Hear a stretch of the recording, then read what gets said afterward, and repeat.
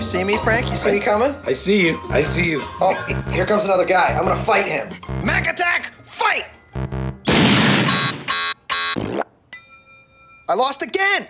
God damn it! How do I keep losing? I'm huge. Stop fighting every guy in the game. The fighting is the best part. It's oh the only God, reason will I'm you guys please shut up? I'm hungover as shit. We're playing Techpocalypse. Oh. Mac is a soiled fool, and I am a gorgeous girl with big cans. And I'm banging all the fishermen in sight for fish. And I'm also being catty with all the women in the game. Like, I'm a real housewife. Look, Dennis, I- I'm six foot ten. I've always wanted to be six foot Hey, ten. look, and this is Mac, you're five foot nine. And Frank, you're a man, an ugly old man. You're not understanding this, Dennis, but I think I have something that can help you wrap your head around it. I've never had my hair cut in a bedroom.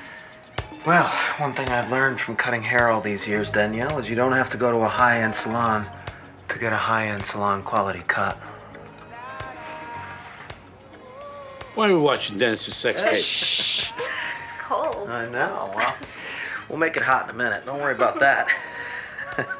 Let's get into it, huh? Well, don't, Well, it's always there's always so much, so much preamble. Okay, here we go. Oh, oh, all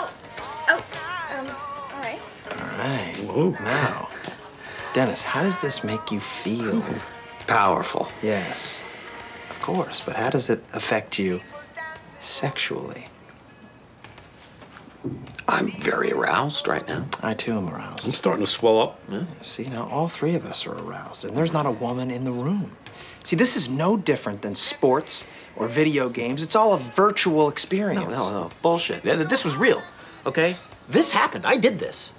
All right, I drew this woman in. I styled her hair. I entered her with almost no resistance. I did these things. You say it's real, but what even is reality? Yeah, reality? who knows? We don't even know if we're in this room. We could be in a turtle's dream in outer space. What are you talking about? I'm gonna go out into the real world again today and have real experiences. I'm gonna draw those people in to me. Okay? A turtle's dream. That's crazy. Lunacy.